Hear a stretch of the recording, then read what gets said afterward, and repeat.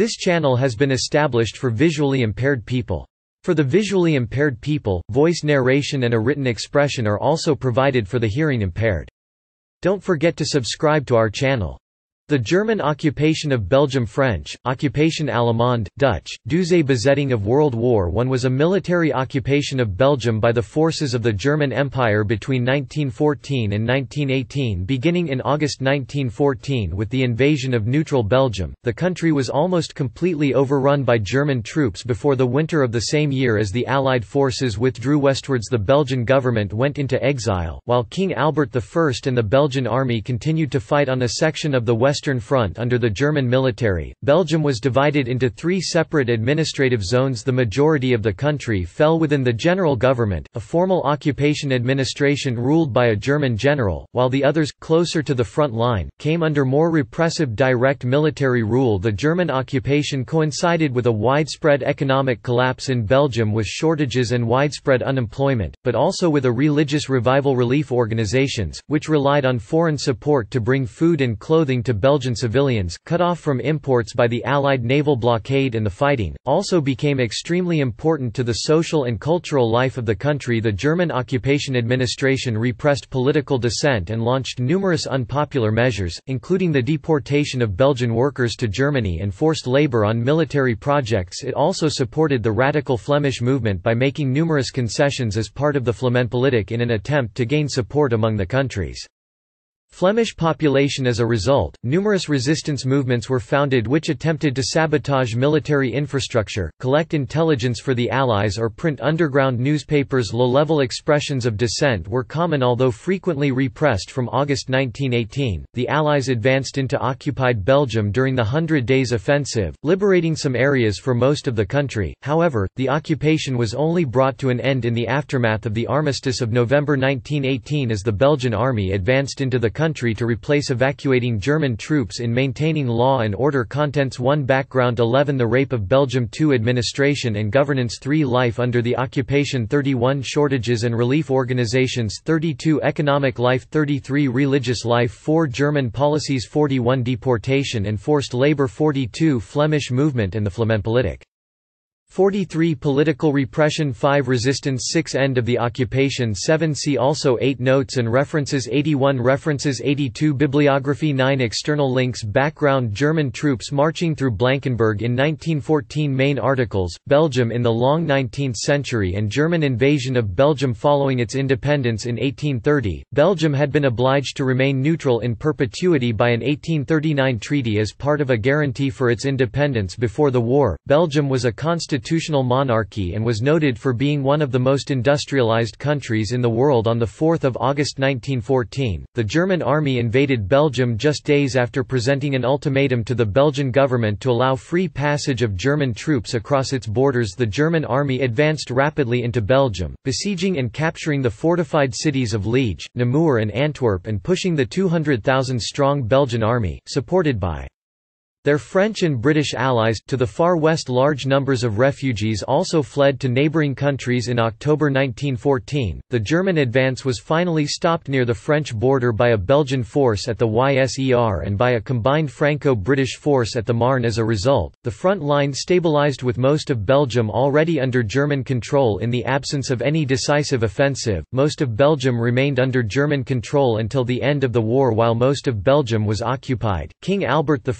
continued to command the Belgian army along a section of the Western Front, known as the YSER Front, through West Flanders from his headquarters in Veurne the Belgian government, led by Charles de Broqueville, established itself in exile in Le Havre in northern France Belgium's colonial possession in Africa. The Belgian Congo, also remained loyal to the Allies and the Le Havre government. The Rape of Belgium Main article, The Rape of Belgium During the course of their advance through Belgium, the Germans committed a number of war crimes against the Belgian civilian population along their their route of advance these massacres were often responses to towns whose populations were accused of fighting as Francs-tireurs or guerrillas against the German army. Civilians were summarily executed and several towns deliberately destroyed in a series of punitive actions collectively known as the Rape of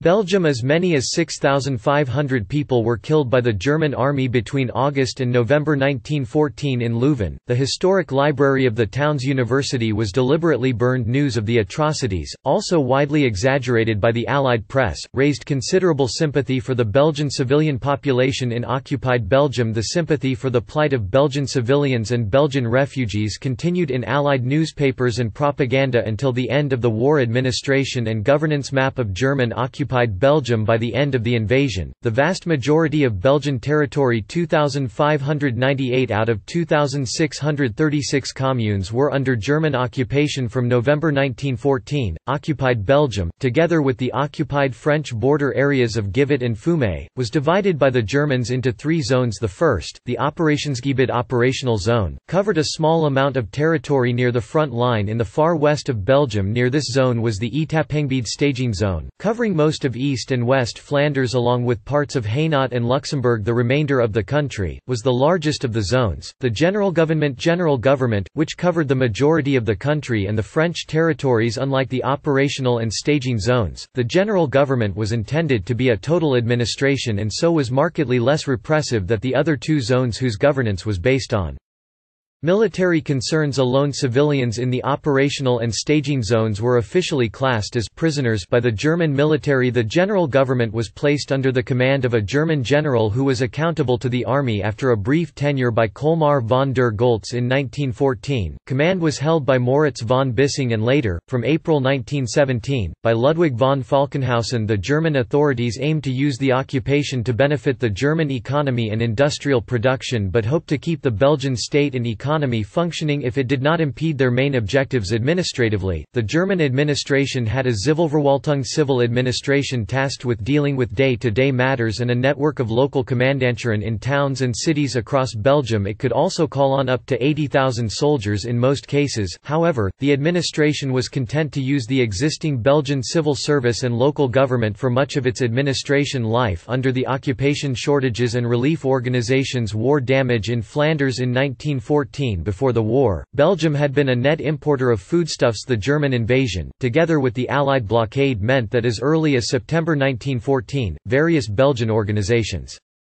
had been preparing for the onset of famine in the occupied territory under the direction of a financier, Émile Francqui, and other philanthropists established the Comité National de Secours et d'Alimentation CNSA or the National Relief and Food Committee to secure and transport food to Belgium, where it could be sold to Belgian civilians the profits from this part of the operation were then used to distribute aid after negotiations with both the Allies and Central Powers. The CNSA managed to secure permission to import food from the neutral United States Francqui used his acquaintance with Herbert Hoover, the future American president, to collect food and other relief through an American organization, the Commission for Relief in Belgium CRB, which was then distributed within Belgium by the CNSA. A number of smaller relief organizations affiliated to other neutral countries also worked within occupied Belgium. The CNSA became a major part of everyday life and culture in occupied Belgium. The organization fulfilled much of the day to day running of a welfare system and generally prevented famine, although food and material shortages were extremely common throughout the occupation at its height. The CNSA had more than 125,000 agents and distributors across the country. Historians have described the CNSA itself, with its central committee and local networks across the country, as paralleling the actions of the official Belgian government in peacetime in the eyes of contemporaries. The CNSA became a symbol of national unity and of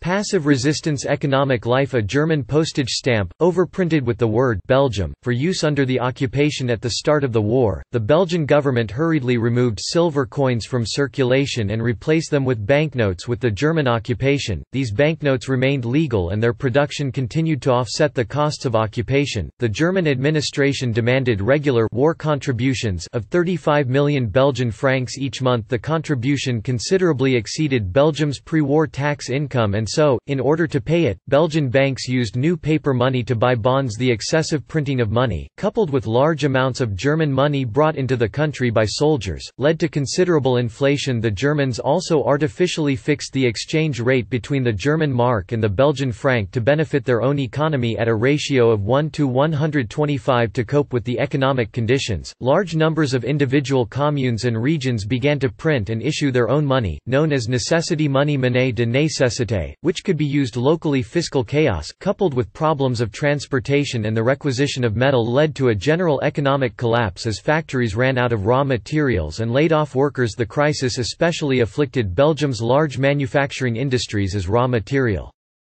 Usually exported from abroad dried up, more firms laid off workers unemployment became a major problem and increased reliance on charity distributed by civil institutions and organizations as many as 650,000 people were unemployed between 1915 and 1918 The German authorities used the crisis to loot industrial machinery from Belgian factories which was either sent to Germany intact or melted down. The policy escalated after the end of the German policy of deportation in 1917 which later created major problems for Belgian economic recovery after the end of the war. Religious life. Cardinal Mercier, pictured in 1914, became a prominent dissenter in occupied Belgium. The occupation coincided with a religious revival in Belgium which had always been overwhelmingly Catholic. The Primate of Belgium, Cardinal Désiré Joseph Mercier, became an outspoken critic of the German occupation regime. Mercier published a celebrated pamphlet entitled Patriotisme et Endurance. Patriotism and Endurance on Christmas Day 1914 which called for civilians to observe occupation laws only which were consistent with Belgian patriotism and Christian values The pamphlet attacked the authority of the German occupying government, stating that any rule legitimized by force alone should not be obeyed in the absence of the king or government in occupied Belgium. Mercier became the predominant figure in the country and a symbol of resilience because of his status, he could not be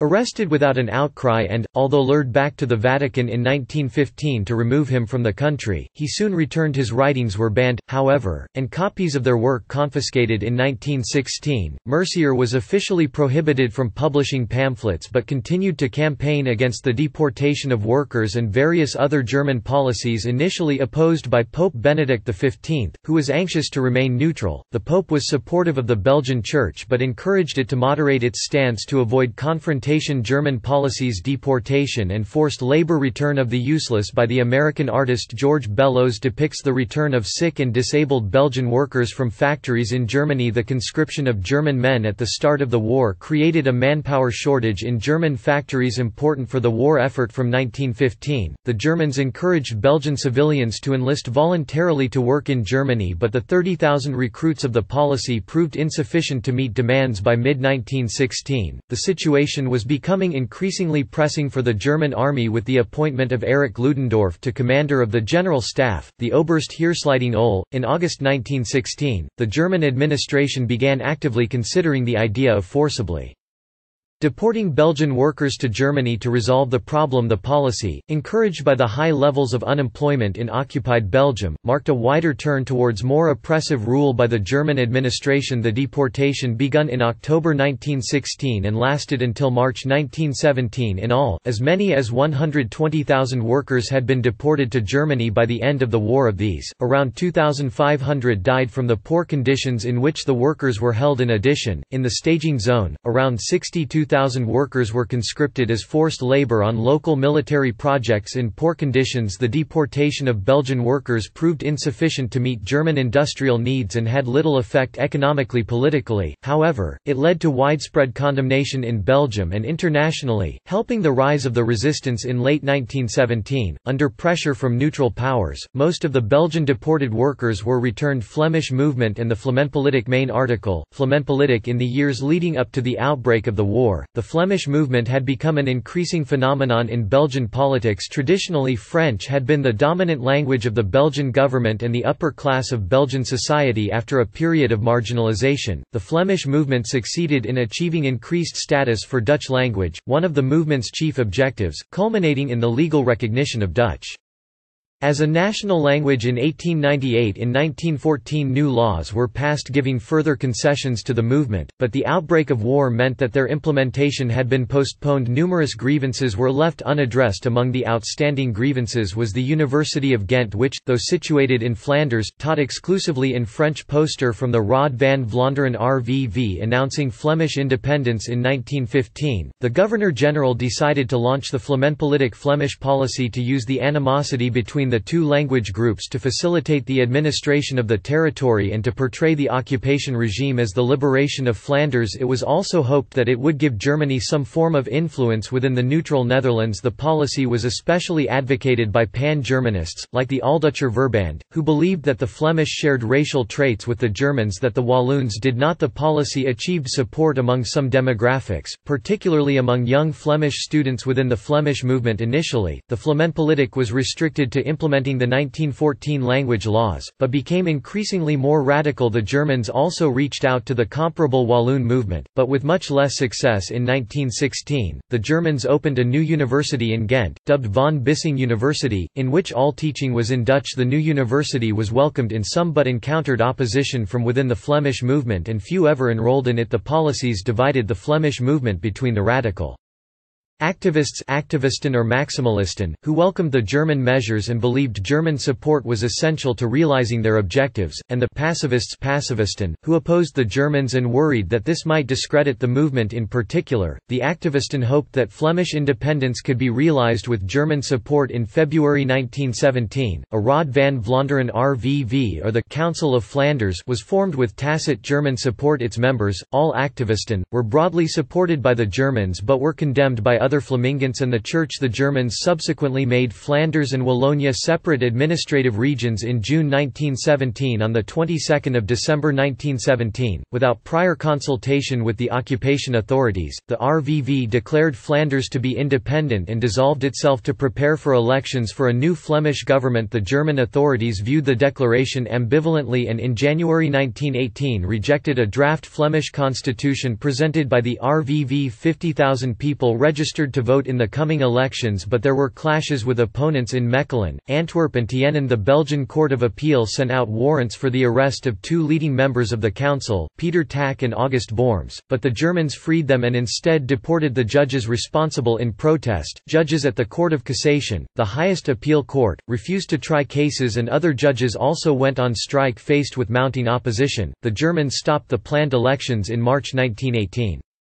Political repression. The German constructed wire of death along the Belgian-Dutch border. Public opposition to the German occupiers was heavily repressed. Displays of patriotism, such as singing the national anthem, La Brabançonne, or celebrating Belgian National Day were banned and those breaking the rules risked strict prison sentences. Newspapers, books and mail were all tightly censored and regulated. Numerous high-profile Belgian figures, including Adolphe Max, the mayor of Brussels, and the historian Henri Pirenne, were imprisoned in Germany Germany as hostages The aftermath of the Battle of Verdun in 1916 marked a turning point in the occupation and was followed by more repressive measures by the administration, including the deportation of workers to Germany from the time of the invasion. Significant numbers of Belgian men had attempted to flee the occupied territories to join the Belgian army on the YSER front, via the Netherlands which were neutral in order to stop this. The Germans began work on a barbed wire and electric fence across the length of the border the fence, dubbed the Wire of Death Dodendraad, was also guarded by German sentries between 2,000 and 3,000 civilians are believed to have been killed attempting to cross the border during the conflict. Captured resistance members were also executed by the German authorities famously, Edith Cavell, a British nurse who had lived in Belgium before the war, was arrested after helping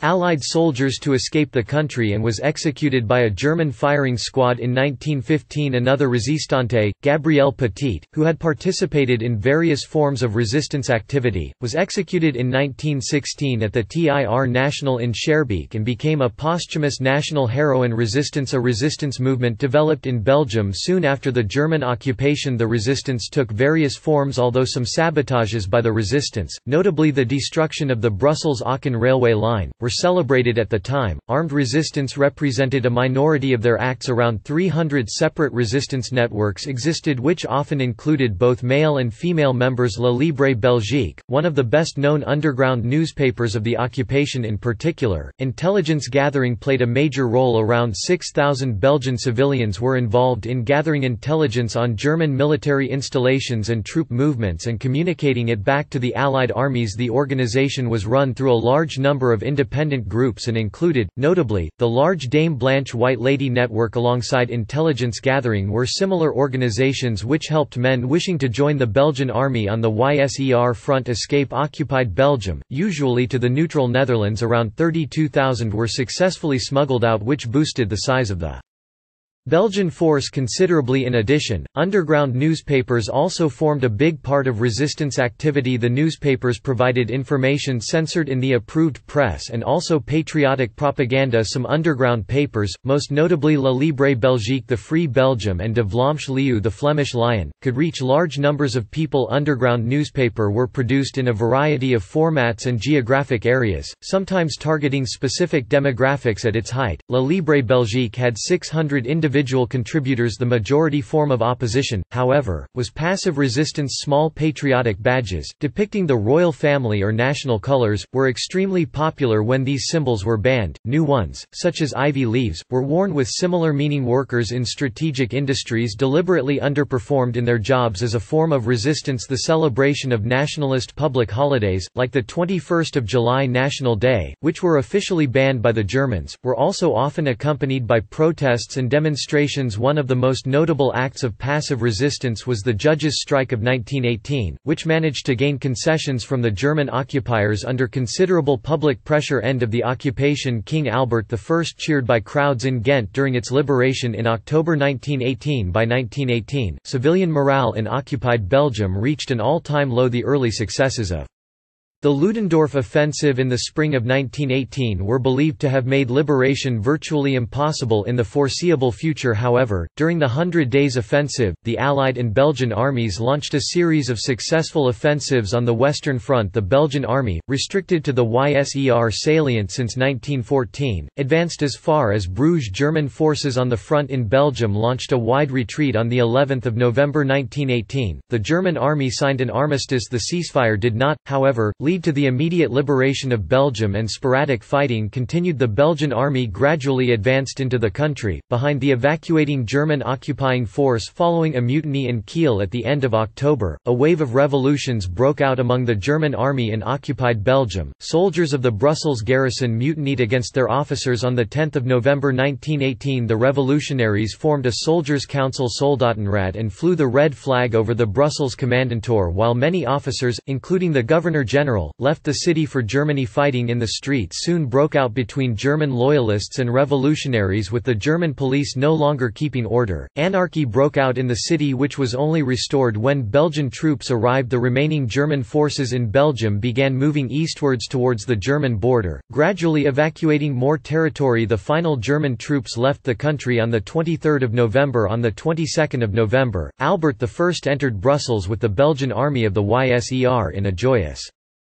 Entry The king was widely acclaimed by the civilian population subsequently. Some of the notable activisten from the RVV were put on trial but, although the body had professed as many as 15,000 followers, only 312 individuals were convicted of collaboration with the enemy. Among them was Borms who, from prison, would continue to play an important role in the Flemish movement in the 1920s in total, 40,000 Belgian soldiers and civilians were killed and 77,500 wounded during World War I see also also Belgium Portal World War I Portal German occupation of Luxembourg during World War I German occupation of northeastern France during World War I Belgium in World War II Belgium in the long 19th century Notes and references References Carrot Hobsbawm 1995, pp.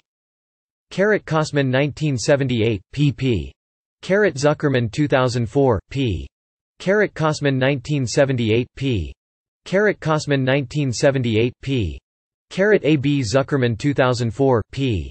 Bibliography Cook, Bernard A. 2004 Belgium, A History Studies in Modern European History 3rd ed. New York, Peter Lang ISBN.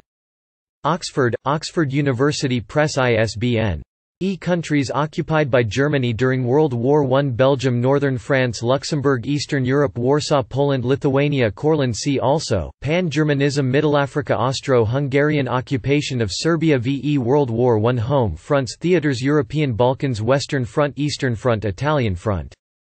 Middle Eastern Gallipoli Sinai and Palestine Caucasus Persia Mesopotamia South Arabia African Southwest East Cameroon Togoland North Asian and Pacific Tsingtao German New Guinea and Samoa at sea North Atlantic U-boat campaign. Mediterranean North Sea Baltic Indian, Pacific. British Empire Greece Italy Japan Montenegro Portugal Romania Russia Russian Empire Russian Republic Serbia United States Central Powers Germany Austria Hungary Ottoman Empire Bulgaria Timeline Pre-war conflicts Scramble for Africa 1880–1914 Russo-Japanese War 1905 First Moroccan Tangier Crisis 1905–06 Agadir Crisis 1911 Italo-Turkish War 1911–12 French Conquest of Morocco 1911–12 First Balkan War 1912–13 Second Balkan War 1913 Prelude Origins Sarajevo Assassination Anti-Serb riots in Sarajevo July Crisis Autumn 1914 Battle of the Frontiers Battle of CE CER First Battle of the Marne. Siege of Tsingtao Battle of Tannenberg Battle of Galicia Battle of the Masurian Lakes Battle of Kolubara Battle of Sarikamish Race to the Sea First Battle of Ypres 1915 Second Battle of the Masurian Lakes Second Battle of Ypres Battle of Gallipoli Second Battle of Artois Battles of the Isonzo Great Retreat Second Battle of Champagne Kosovo Offensive Siege of Kut Battle of Luz 1916 Erzurum Offensive Battle of Verdun Lake Naroch Offensive Battle of Asiago Battle of Jutland Battle of the Somme Brusilov Offensive Baranovichi Offensive Battle of Romani Monastir Offensive Battle of Transylvania 1917 Capture of Baghdad First Battle of Gaza Zimmermann Telegram Second Battle of Arras Kerensky Offensive Third Battle of Ypres Passchendaele Battle of Maricesti Battle of Caporetto Southern Palestine Offensive Battle of Cambrai Armistice of Erzincan 1918 Operation Faustschlag Treaty of Brest-Litovsk Spring Offensive Second Battle of the Marne Battle of Baku Hundred Days Offensive Vardar Offensive Battle of Megiddo Third Transjordan Attack Meuse Argonne Offensive Battle of Vittorio Veneto Battle of Aleppo Armistice of Salonika Armistice of Mudros Armistice of Villa Giusti Armistice with Germany Other conflicts Mexican Revolution 1910–20 Somaliland Campaign 1910–20 Libyan Resistance Movement 1911–43 Maritz Rebellion 1914–15 Zayan War 1914–21 Indo-German Conspiracy 1914–19 Senussi Campaign 1915–16 Volta Bani War 1915–17 1917 Easter Rising 1916 Anglo-Egyptian Darfur Expedition 1916 Kaocen Revolt 1916–17